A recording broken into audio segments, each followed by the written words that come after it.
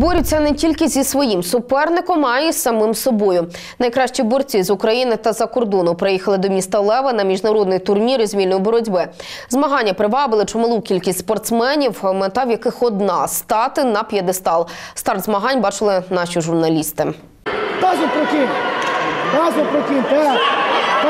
Дівчина у синьому трико на початку змагань навіть не думала, що за підсумками турніру стане першою. Остання сутичка була непростою, та все ж їй вдалося дотиснути свою суперницю. Суперники всі були важкі, але я настроїлася, що маю виграти.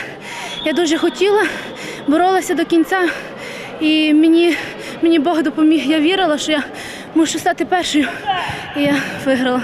Турнір, де Романа стала першою, проводять уже вдруге. Ці змагання стали міжнародними, де тепер щорічно збираються найкращі представники європейського світу боротьби. Загалом на змагання приїхало 120 хлопців та 60 дівчат. Це вид спорту звісно, тяжкий, будемо так казати. Це не для, не для слабохарактерних. е, Такий треба проявити характер, волю до перемоги.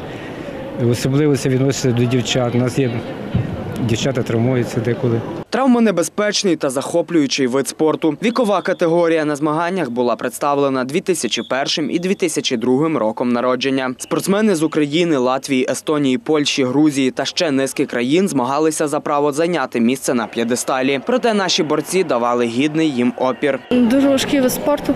Я стараюсь в тренуваннях викладуватись на всі 100%. Саме останнє виходжу з залу. Стараюсь наповно віддатись цьому спорту. Ці змагання проводять в пам'ять видатного тренера Олега Сазонова. Андрій Дідоводюк, Тарас Філь. Правда тут.